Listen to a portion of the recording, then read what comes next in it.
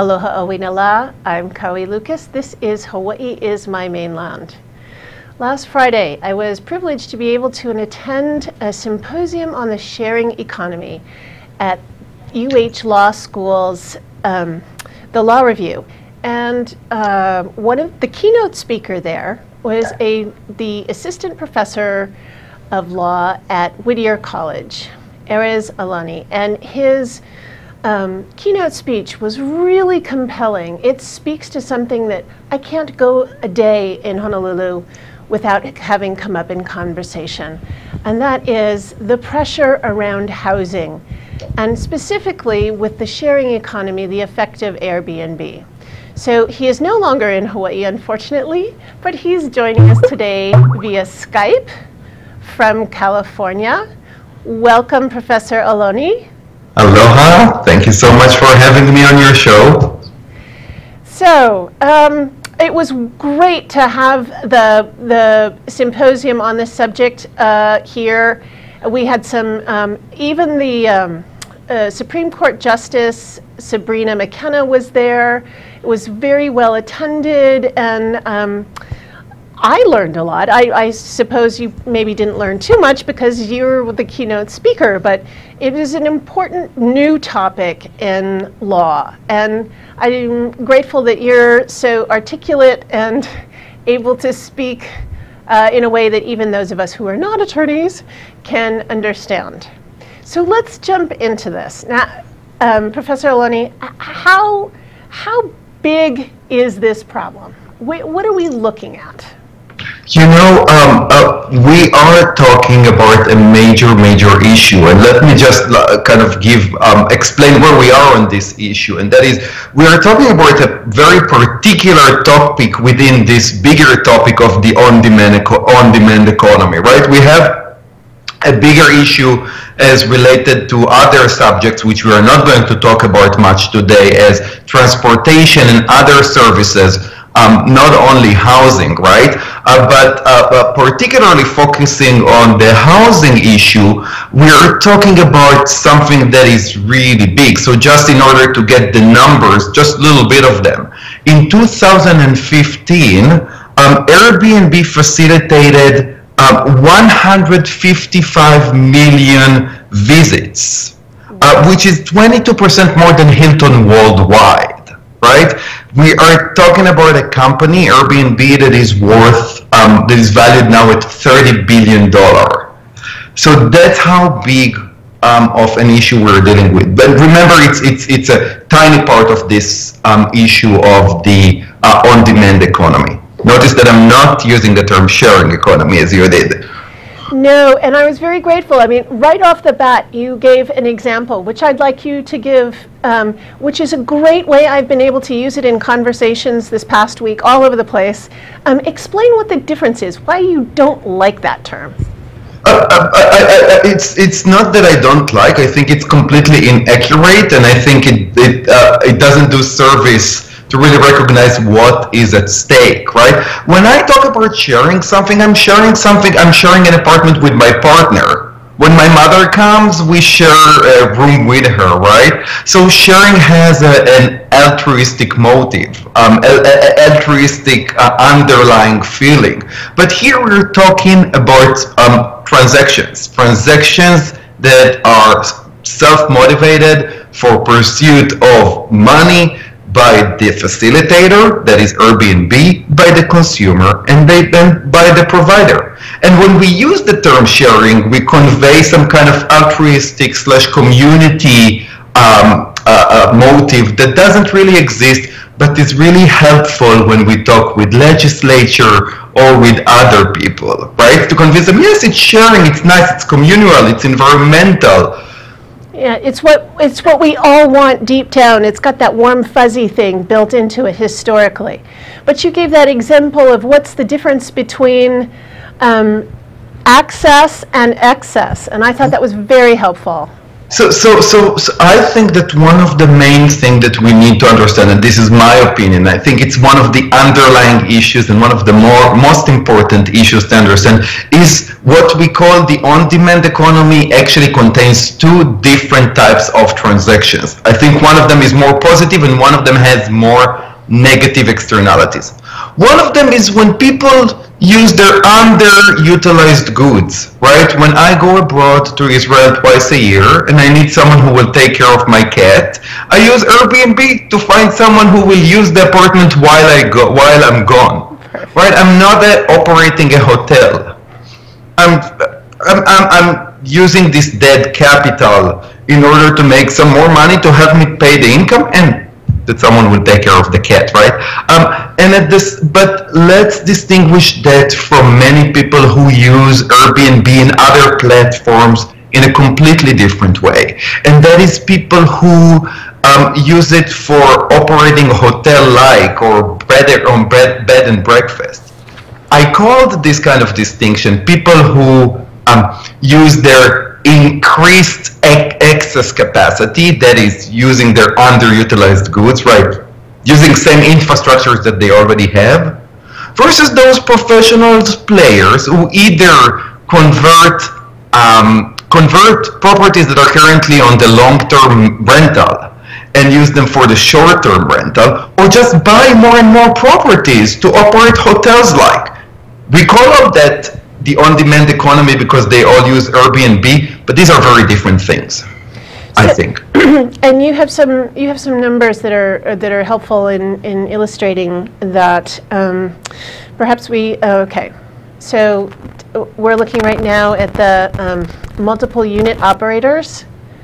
Right. Um, so so um, uh, so what you see in this slide, if I'm talking about um, the same slide as you do, um, is um, a research was conducted by, uh, by um, uh, Penn State University.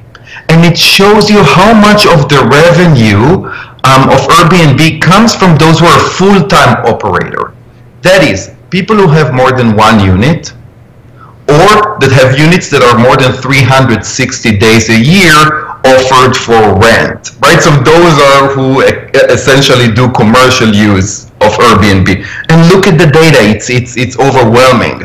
Yeah. Um, there is 40% of Airbnb revenue in 14 in 14 cities arrive from people who have more two units or more. 40%. Okay, it's not little. Um, and you can see also that 26% um, of the people who have 300 who have their units um, for 360 days or more um, uh, uh, people who rent their properties for 360 days or more um, essentially give Airbnb 26% of its revenue in 14 major cities.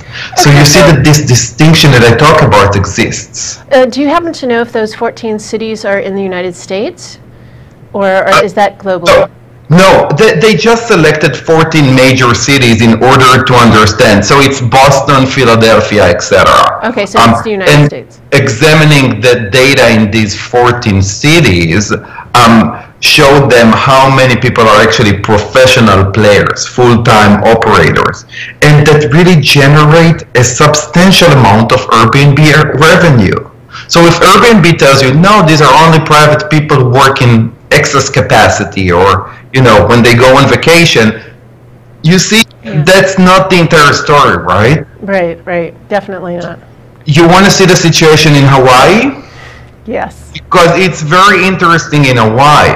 So if we can see for a moment the slide in hawaii we will see the same thing this distinction between those who operate full-time and those who operate just in excess capacity, just in increased excess capacity. So if you look at the uh, what the slide shows um, is how many hosts, active hosts on Airbnb existed in Honolulu in February 2017. And what you see there is that there are a total of 1,519 active hosts.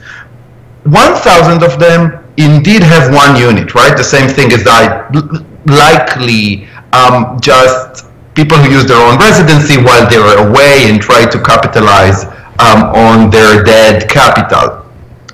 But then you see that there are 238 with uh, hosts with two units.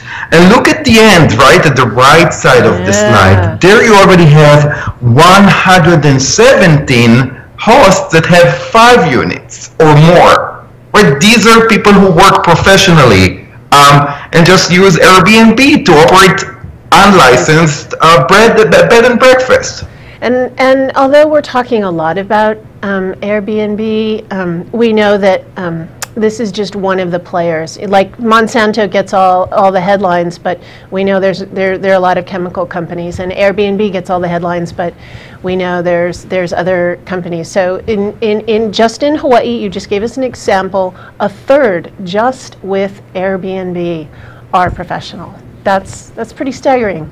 And you brought you brought some some other numbers into um, the play. Um, which um, I uh, when you sent me this, I was really shocked. Um, when you see how um, Airbnb is promoting it, um, residential property as investment property in the United States, the best places to buy Airbnb investment property. Now, they're not talking about hotels, right? They're talking about homes. No to be clear, it's not Airbnb. It's a it's a company. It's a different company, right? Airbnb, um, AirDNA, which is uh, which shows you how common now this phenomenon is. That there are websites that advise people where they should buy property and convert it um, to Airbnb to short-term rentals. Where it, it, it's just a phenomenon that people now just live from the money of being professional hosts. But notice the very interesting thing. You are most, you will be most interested in that. So there is a slide. So one thing that you under, that you need to understand that it's important for everybody to understand is why why so many people have a strong incentive to take off um, long-term rentals, to take them off from the regular long-term market and convert them to short-term market. And um, you'll see in a moment that in, in Hawaii particularly, the incentive is so, so, so big. So if you see there, there is a slide um, with a graph um, that on the one uh, uh of on one side um, has um, on the on the one side it has um, uh, the um, uh, the average, sorry, on one side you have the average monthly rent in a particular uh, uh, city, and on the other um, you have the average revenue that an Airbnb host can make. Do you, do you have this slide now in front of you?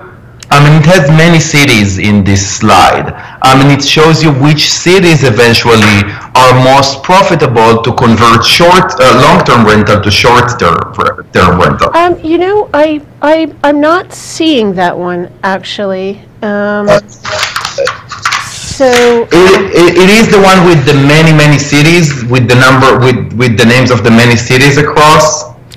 I'm, I'm, I'm sorry, Professor Aloni. I, okay, I'm, don't worry about it. So let me tell you what, it's, okay. what, what tell it tells us, Tell us what we need to know. don't worry about it. That, that, it's, it's, it's easy to explain that. It, what, what it essentially shows, uh, what, what essentially I'm trying to say is the following. In Honolulu, Hawaii, the average rental cost of one bedroom um, in a long-term rental is 1300 but the average revenue for an Airbnb host, the average, is 2800s. Okay, 1300s if your apartment is in the long-term rental, 2800s, more than double if you are uh, converting it to a short rental.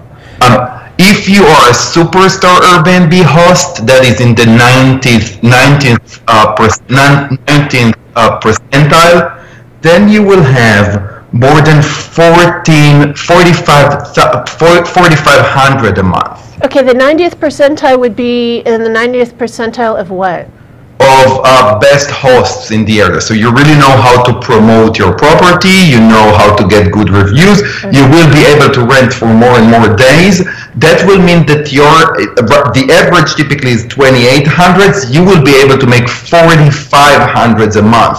So, on an apartment that's on the long-term rental is 1300 and I think that explains it all really explains why. And notice, so uh, uh, the two, one of the two in the entire U.S., two of the cities that are really most profitable to convert short, long term to short term are Honolulu and uh, um, and um, California looks like and um, the other. Um, the other Hawaii uh, city that I'll oh, remember its name in a moment. Yes, yes. So, um, Professor Aloni, we're going to break for a minute and then come back and talk more about this. Hi, I'm Jay Fidel. That's Ted Ralston. You know, Ted is the uh, host of Where the Road Leads. It shows uh, every Friday from 4 to 5 p.m. It's about technology. It's about how people collaborating and solve problems with modern technology. It's where the road leads. We all know that. We should all be listening. Join us there, 4 to 5 p.m. every Friday. Now, what about that do you agree with?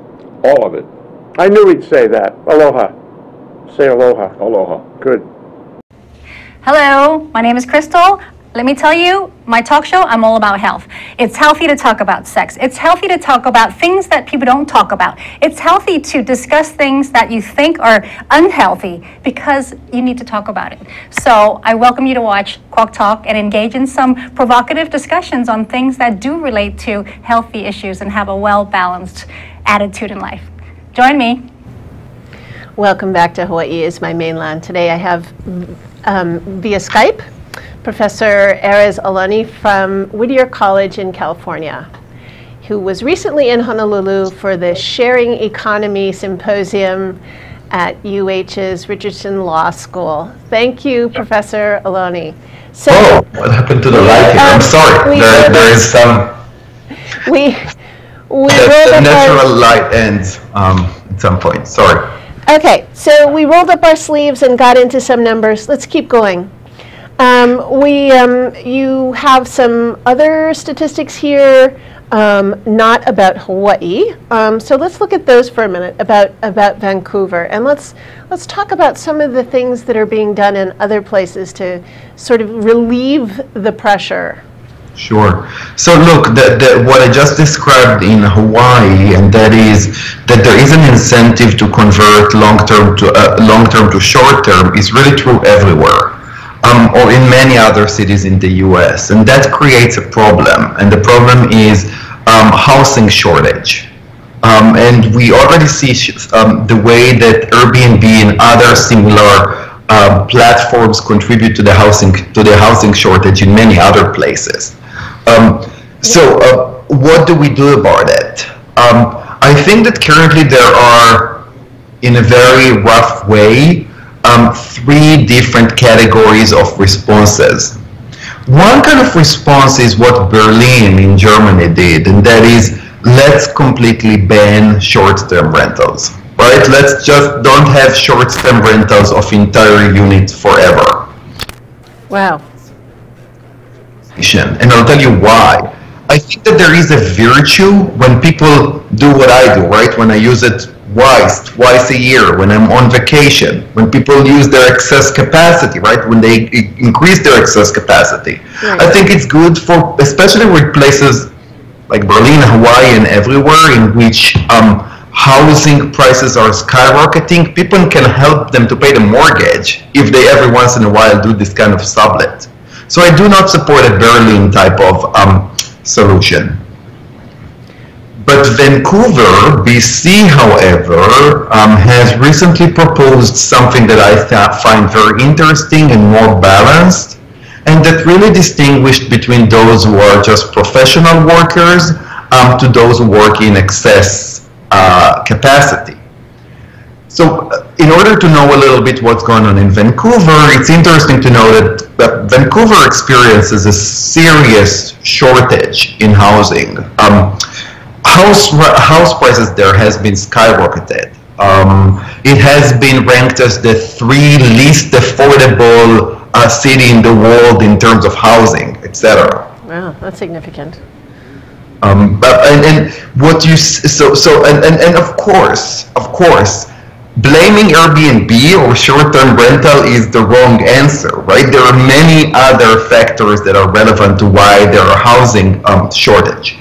But if you look at Airbnb in Hawaii, in, in, Vancouver, you'll see the same thing that we see in Hawaii, and that is, if you look at the slide in Vancouver there for uh, for just a moment, you'll see the same thing that we saw um, in Hawaii, and that is there are um, some people who just um, rent their apartment for a few days a year. Some people do it, as you can see, for more than nine months uh, a year.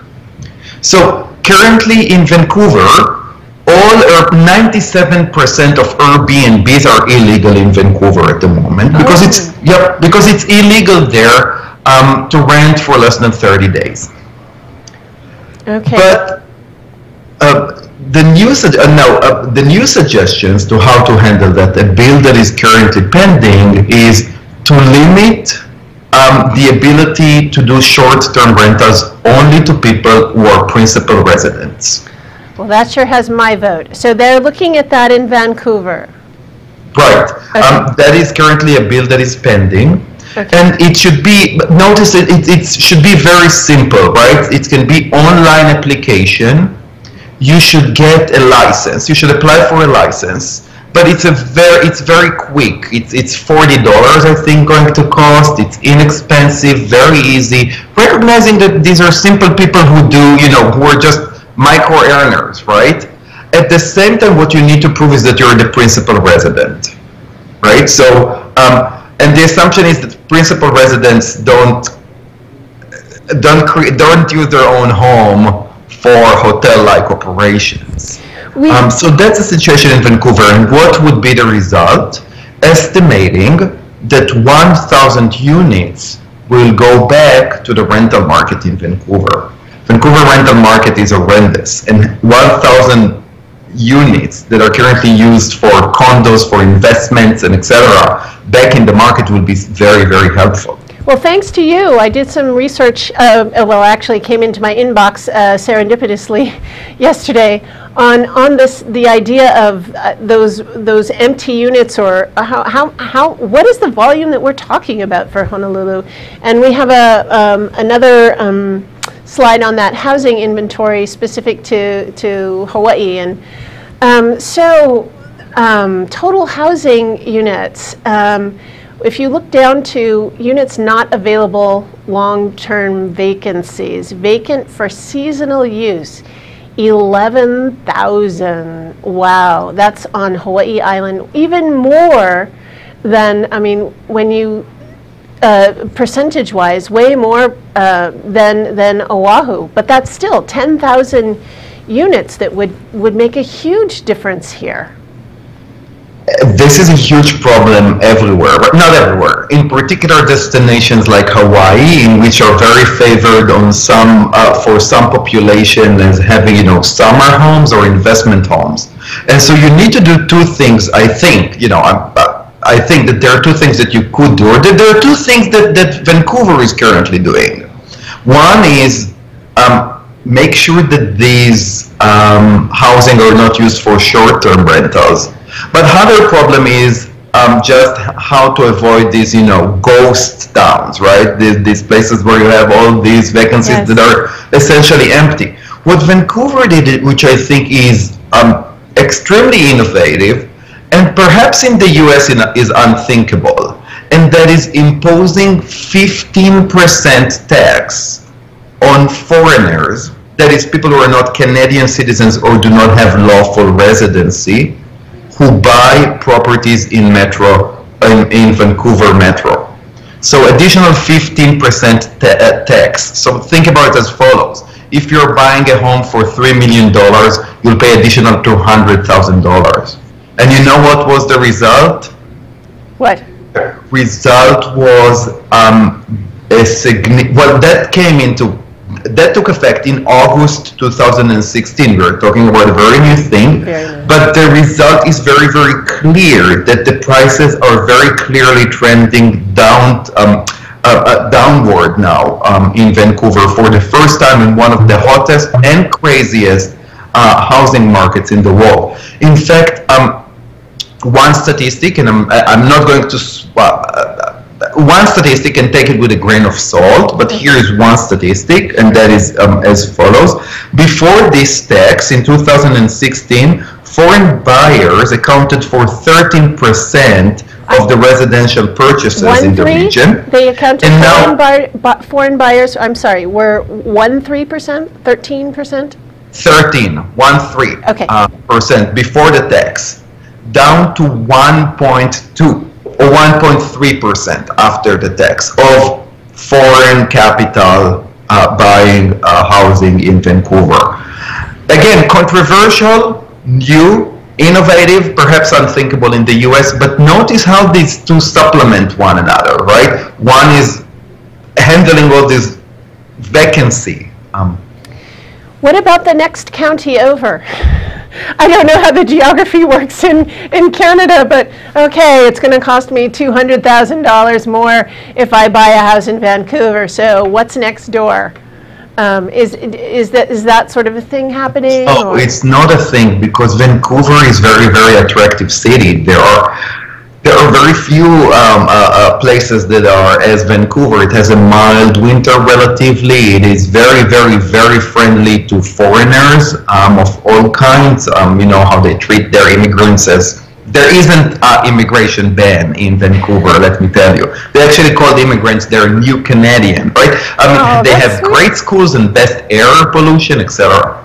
Now, we have little time, right? So maybe just let me tell you now an, on another approach. Sure. And that is in San Francisco. Um, San Francisco took a relatively similar approach, but it's based on number of days. So there is a limitation on the number of days in which a tenant or owner can can do short terms. Um, so um, we are talking about um, um, uh, owner or tenant cannot rent for more than 90 days a year. In addition, they need a license, and in addition, they need uh, they need a few types of licenses. Okay, well, we, we are going to have to sign off here very quickly. Thank you. This is a, a dense subject, and you have given us a lot of, of ammunition uh, for working on our, our problems here. And something tells me this won't be the last time you and I have a discussion about it. Thank I you really so appreciate it. much, Professor Aloni. Aloha.